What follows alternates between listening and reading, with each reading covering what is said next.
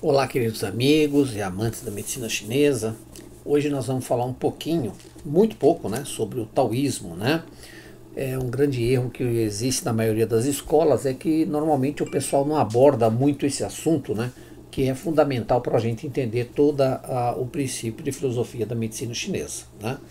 Então nós vamos falar sobre o Tao, caminho do meio, a origem do taoísmo e a importância no seu entendimento da MTC. Primeiro, o taoísmo e as influências xamânicas. Né? O taoísmo ele tem raiz no xamanismo, né? a maior e mais antiga religião do mundo. Né? Surgiu há 8 mil anos na Sibéria, ramificou-se pela China, Japão, Sudeste da Ásia, América do Norte e América Central. Os conceitos xamanistas, eles preservam todos os elementos do mundo físico que estão refletidos no mundo espiritual.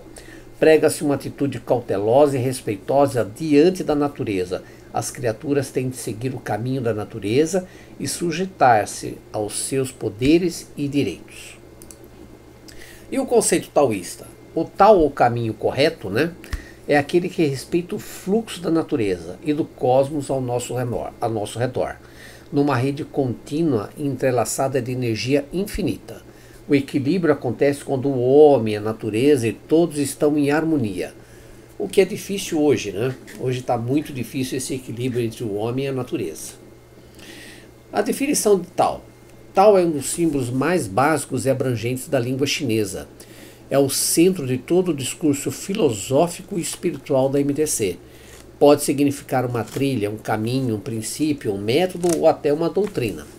Pode significar também a matriz primordial, a estrutura e realidade do próprio universo. Cada arte ou ciência é considerada um tal, ou caminho, mas a origem de tudo, a fonte de todas as coisas é chamada de tal, ou caminho. A essência do tal concentra-se em aperfeiçoar o domínio da natureza humana e da sua relação entre as três áreas mais críticas: o bem-estar pessoal, a harmonia social e a rápida evolução da consciência. O desenvolvimento acontece no todo. Uma vez atingido, não deve ser guardado possessivamente, mas sim colocado a serviço da humanidade. O conhecimento não deve ser exibido orgulhosamente, mas sim difundido de maneira simples e eficaz. Aqui os clássicos taoístas mais conhecidos, né, da maioria dos profissionais, é o I Ching, considerado um texto taoísta ancestral e primordial, o Tao Te Ching, clássico taoísta escrito pelo lendário Lao Tse, o velho mestre, bibliotecário dos arquivos reais da dinastia Shou e contemporâneo mais velho de Confúcio. Compõe-se de, de, antigos ditados, poemas e provérbios compilados por Lao Tzu. Tzu, tradicionalmente atribuído ao taoísta Xuan Shou, coleção de histórias e monólogos que ilustram e expõem os ensinamentos do Tao Te Ching a essência do tal. O tal é a origem de todas as coisas, é a fonte da vida. Esta unidade é composta por dois princípios opostos, porém complementares, o yin e o yang, sendo que tudo que existe e é gerado provém da existência dessa dualidade indissolúvel. O tal é o princípio gerador da tríade céu, terra e humanidade a dualidade do Yin e do Yang. Os princípios Yin e Yang representam duas entidades opostas, porém complementares, que existem e se manifestam em todos os fenômenos e criaturas da natureza, todos os objetos, tudo que existe na natureza, estando sempre uma relação recíproca e interdependente. Formam dessa maneira uma unidade insolúvel, onde um não existe sem o outro pois o desaparecimento de um deles levaria à extinção do seu oposto complementar. Aqui eu coloquei alguns exemplos da manifestação desses dois princípios, onde o, yin, o Yang e o Yin se complementam. Por exemplo, a luminosidade do Sol e a escuridão da noite, o calor do Sol, o frio da noite, a movimentação, o repouso, o exterior e o interior, a energia e a matéria, expansão e recolhimento, Todas essas manifestações de Yang têm a sua complementariedade no Yin. E o Yin também complementariedade no Yang. Agora eu gostaria de falar para vocês minha experiência no taoísmo. Eu estive é, Em 2011, quando fui fazer o curso, mais um curso de acupuntura na China, eu tive a oportunidade de ficar é, quase um mês lá na montanha Udan, né? É uma montanha sagrada taoísta, onde lá existem muitos monges, escolas de kung fu, de qigong, de meditação. E eu fiquei lá fazendo um curso, né, de qigong e de meditação. Essa é a carteirinha com a minha foto, porque essa montanha é controlada, né? Para você descer e subir ela, você precisa ser é, é, registrado lá no governo da montanha, né? Isso é para preservar e saber quem está é, frequentando a montanha e por quê, né? Aqui algumas imagens de alunas treinando Qigong ou, mesmo Kung Fu, né?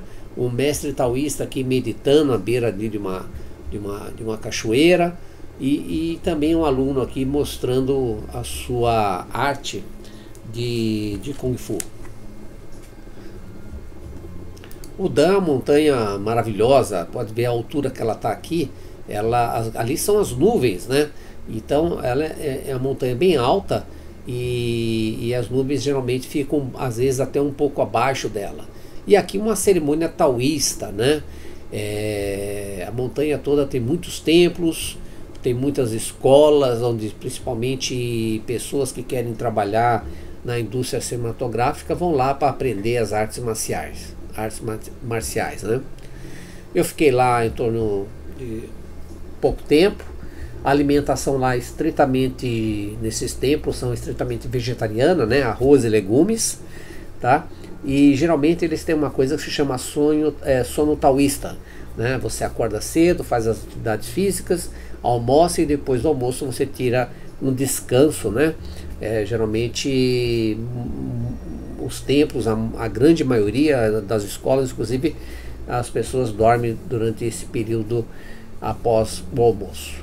Aí após o almoço recomeça-se novamente a prática, né? É, de tai chi, de qigong, de meditação ou do que quer que você esteja lá para aprender. Então aqui também quero aproveitar e fazer uma, uma, uma divulgação para vocês do nosso segundo curso, né? Eu não dou curso de acupuntura normalmente, mas esse ano eu resolvi dar o segundo curso durante da minha experiência de 30 anos na acupuntura, né? Um curso de acupuntura e farmacoterapia chinesa integrada. Vão ser os dois juntos, vai ser em São Paulo. Vão ser seis aulas online pelo aplicativo Zoom aos sábados, né? e 12 aulas presenciais. Seis aulas de estágio supervisionado em hospital em São Paulo. É o primeiro curso que a prática de acupuntura e atendimento de acupuntura vai ser em um hospital público em São Paulo. Tá? Vai ser limitado a no máximo 15 alunos, tá? Inicia dia 24 de abril, vamos tentar começar online de 24 de abril. Depois dessas aulas é, online, aí nós vamos iniciar as aulas práticas. Tá? Aqui está os valores, inscrição e 18 parcelas de R$ reais certificado pela faculdade FACEI. Se você é, tem o segundo grau, você é, vai receber o certificado como extensão. E se você tem alguma formação, você vai receber um certificado de pós-graduação. Ok? Tá aí os telefones meu e o telefone de São Paulo para você obter informações e já reservar a sua vaga. Um grande abraço e bom dia a todos.